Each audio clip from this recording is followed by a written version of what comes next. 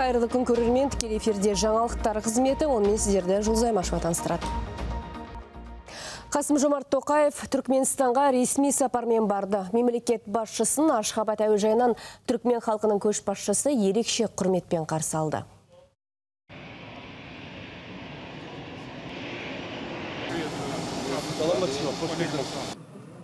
Гурбангулы Бердімұхамедов Қазақстан президентіне ілтипат білдіріп, Түркменстанға ресми сапар аясында қол жеткізілетін уағдаластықтар екі ел арасындағы стратегиялық серіктестікті тереңдетуге ықпал ететініне сенімді екенін айтты. Қарсы алу рәсімінен соң Қасым Жомарт Тоқаев Ашхабаттағы Абай Құнанбайұлының ескерткішін ашты. Қадірлі қауым, бүгін екі елдің рухани өміріндегі ерекше күн деп айтуға толық негіз бар. Ашхабад төрінде ұлтымыздың ұлы ойшылы Абай Құнанбайұлының ескерткіші бой көтерді. Бұл түрікмен бауырлардың қазақ халқына айрықша құрметінің көрінісі деп санаймын. Мемлекет басшысы салтанатты жиында бұл мүсіннің ашылуын түрікмен бауырлардың қазақ халқына айрықша құрметінің көрінісі деп санайтынын атап өтті. Сонымен қатар әңгімелесу барысында саяси, сауда-экономикалық және мәдени-гуманитарлық салалардағы екі жақты ынтымақтастықтың басым бағыттары егжей-тегжейлі талқыланды. Түркияда орталық Азия термині орнына Түркістан ұғымы қолданылатын болды. Түріктердің отаны деген мағынаны білдіретін бұл сөз ерте кезеңдерден бар дейді сарапшылар. Аталған бастама түрк әлеміндегі байланыстарды нығайтуды көздейді. Сондай-ақ ортақ тарих пен әдебиет, карта мен әліппе жасау сынды кең ауқымды стратегияны қамтиды. Түркияның ұлттық білім министрлігі аталған терминді балаларға арналған оқулықтарға енгізу туралы шешімін қабылдапты. Ел президенті Режеп Тайып Ердоған да бұл бастаманы қолдаған. Қазақстанда теңге құнсыздануы мүмкін бе? Бұл сұраққа ұлттық экономика вице-министрі жауап берді. Арман Қасеновтың пікірінше соңғы үш жылда бұқаралық ақпарат құралдарында сарапшылар елімізде тым жоғары курс болатынын айтқан. Дегенмен шын мәнінде ұзақ уақыттан бері девальвация тіркелмепті. Алдағы уақытта ақшаның құны жоғалу мүмкін деген қорқынышқа да еш негіз жоқ. Себебі қазір елде экспорт көлемі ұлғайып, импорт азайған. Сауда балансы тұрақты, сондықтан ұлттық валютамыз нарықта әзірге орнықты деді вице-министр. Алло, сіздің зейнетақы қорыңызға ақша түспей жатыр. Осылай деп хабарласып жатса, сеніп қалмаңыз. Бұл алаяқтардың ісі. Жұмысқы жоспардың жаңа түрі белең алыпты. Арам ниеттілер кез келген адамға хабарласып, зейнетақы қорындағы есеп шотына ақша аударымдары болмай жатқан айтады екен. Сосын классикалық сценарий бойынша смс жіберіп, сондағы құпия сөзді айтуды сұрайды.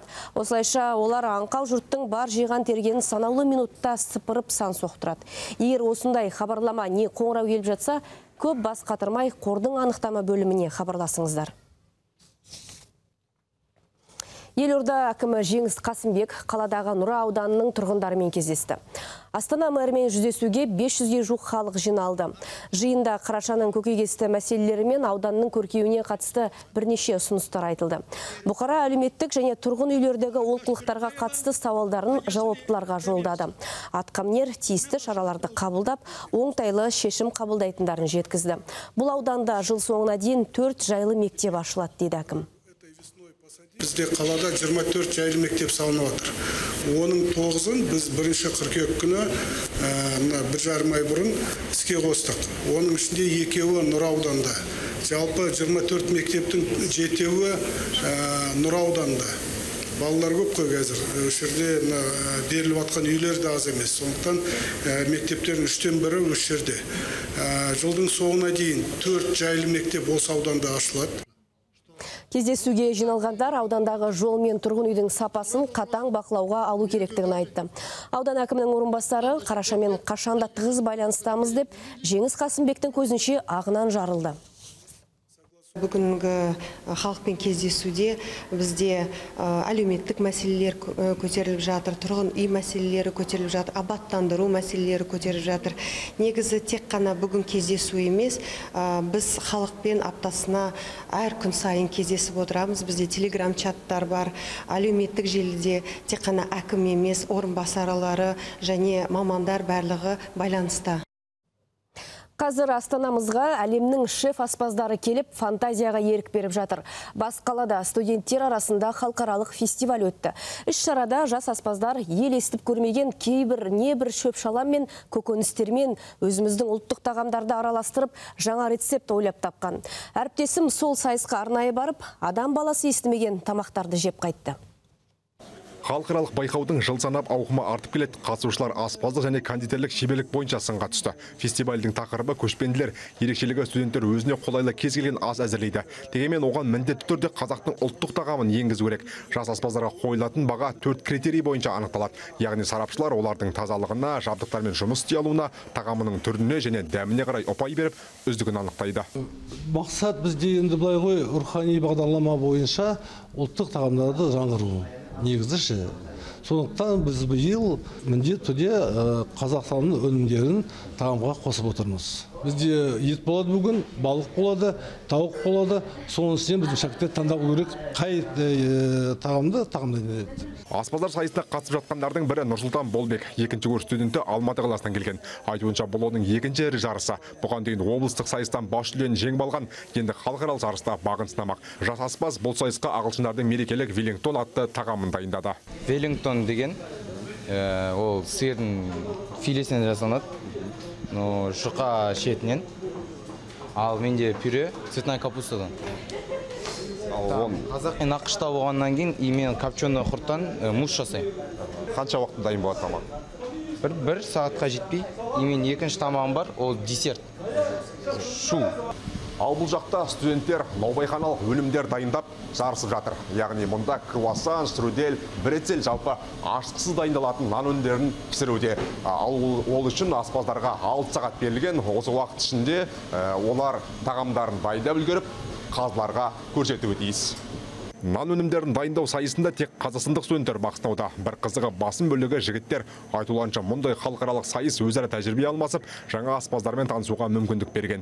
сайыс негізі жақсы өзіме ұнайды сайыстың жасап жатқан организаторлары да жақсы өте жақсы жасаған бәрін ойлаған жақсы адамдармен танысып жатырық жаңа адамдармен танысып жатырық басқа елдерден келген азаматтармен танысып жатырық Халықаралық сайыс болғандықтан мұнда Үндістан, Өзбекстан, Оңтүстік Корея тағы да басқа елден сарапшы мамандар тартылған.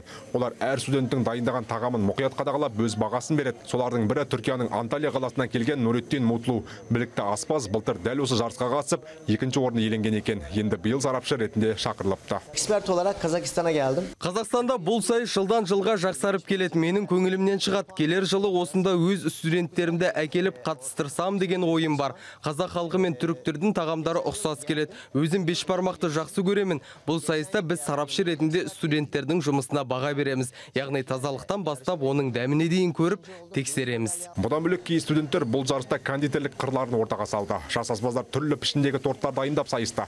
Айта кетейін, сайыс қатысушыларына ұсынылатын сыйлықтар да ауқымды. Мәселен, жеңімпаздарға Түркия еліне 10 күнге жолдама берілсе, екінші, үшінші орын иегерлері де құралақан қайтпайды. Ақан Елам Ерлік Нұрахмет, Еуразия бірінші арнасы.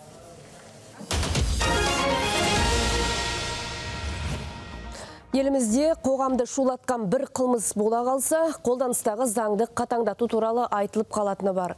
Бұл жолы да сенаторлар Талғардағы бозбаланың өлімінен соң осы мәселеге қатысты пікір білдірді. Жуырда ғана вице-министрлігінен парламенттің жоғары палатасына ауысқан Марат Қожаевтың сөзінше, елімізде заң онсыз да қатал. Оны күшейте берудің еш қажеттілігі жоқ. В данном случае сейчас Мен сіздерге мынаны айтқым келеді. Біздің елде негізі заң өте қатал. Сондықтан қоғамдағы зорлық зомбылықты қатыгездікті бір ғана заң жобаларын қатаңдату арқылы шешуге болады деген қате пікір. Азаматтардың қандай ортада өскені тәрбиесі білім ошақтарында мінез құлқы қандай болды осының барлығы үлкен маңызға ие. Бұл бірқатар әлеуметтік кешенді проблемалардың бірі. Мысал ретінде депутат Қытай заңнамасын келтірді. Шығыстағы көршімізде осы санаттағы қылмыстарға ату жазасы да қолданылады. Бірақ бұған қарамастан Қытайда атыс шабыс жойылып кеткен жоқ. Еске салайын өткен аптада Талғарда 16 жастағы балаға бір топ жігіт жабылып көз жұмған еді. Жамбылды туфли жалағыш, шәмшіні арақкеш, мұқағалиды сорлы еркек қылды. Депутат Жанарбек Әшімжан мәжілістің жалпы отырысында бұқараның базынасын жеткіздіп, маңызды мәселе көтерді. Ұлтымыздың ұлтыларына тіл тигізіп, құндылықтарын қорлайтындар қаптап барады деді. Құнжылтатындар ардан аттап, арзан атақ үшін ата бабасын аяққа таптайтындардың басым бөлігі жастар. Өткен аптадағы ақиқ ақынға кір жаққан блогерді де сынға алды. Халық қалаулысы ессіз әрекет жасайтындарға дереу есті шара қолдануға шақырды. Елдің ертеңін сеніп тапсырған ұрпақ қалыптастырамыз десек үкіметтік деңгейде жеделдетіп ұлттық құндылықтар жүйесіне арналған мемлекеттік бағдарлама әзірлеу қажет.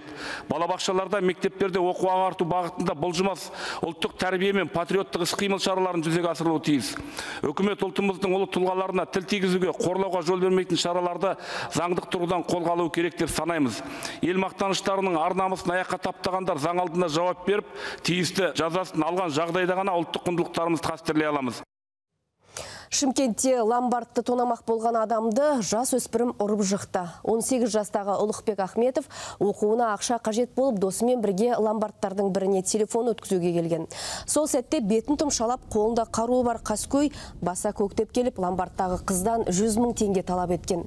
Басында әңгімеге тартып күдіктіні райынан қайтаруға тырысқан. Бірақ тонауға келген азамат алған бетінен қайтпапты. Сол кезде оны ұрып жығып полицейлер келгенше ұстап отырған. Бұл ерлік ерлігін бағалап ломбард иесі Ұлықбек Ахметовке айфон сыйлап, тәртіп сақшыларын тәртіп сақшылары алғыс хат берген. Пистолет тақайды қызға. И сол сол кезде мен сұрадым, короче. Мен басында ешқайсысын серьез ретінде қабылдаған жоқпын, серьезно. Сөйтіп мен сұрадым, сен шын істеп жатсың ба, бұл ойнап жатқан жоқсың ба дедім. Ол айтты, иә деді, серьезно бұл ограбление деді. Сөйтіп и сол кезде, короче, мен уже бас сап кеттім ғой өзім сразу оң жақтан. Сол мен тастадым, сонымен төбелес басталды сөйттім оны жатқыздым и екі үш минуттан соң уже полиция қызметкерлері кіріп келді Мемлекеттік қызметшілер достық үйіне жиылды. Бұл бүгін мамандар үшін қалалық ассамблеяда арнайы семинар тренинг басталды. Сан саланың тұтқасын ұстаған қызметкерлер этносаралық қатынасты ұйымдастыру бойынша тәжірибе алмасып жатыр. Басымдық дәрігерлер мен мұғалімдерге және әкімдік өкілдеріне беріліп отыр. Себебі дәл осы жандар этносаралық түсініспеушілікпен жиі бетпе-бет келеді екен. Жалпы қазір мұндай жиындар әр өңірде өтіп жатыр.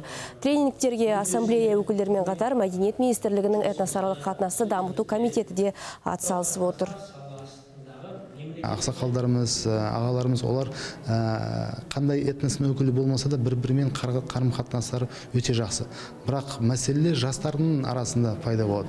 Сол біз осы жұмыстарымызды және де осындай қарым қатынасты біз жастарға жеткізу үшін қандай тәсілдерді қолдануымыз керек қандай іс шараларды біз ұйымдастыруымыз керек деген мәселелерде бүгінгі семинарда қозғалуда. Біз әртүрлі болсақ біздің құқықтарымыз тең деген қағидаларды негізге алып осындай жұмыстарды біз іске асырып жатырмыз. Жатырмыз менде бар ақпарат осы кешке 18.30-да басы жаңалықтарды қарауды ұмытпаңыздар.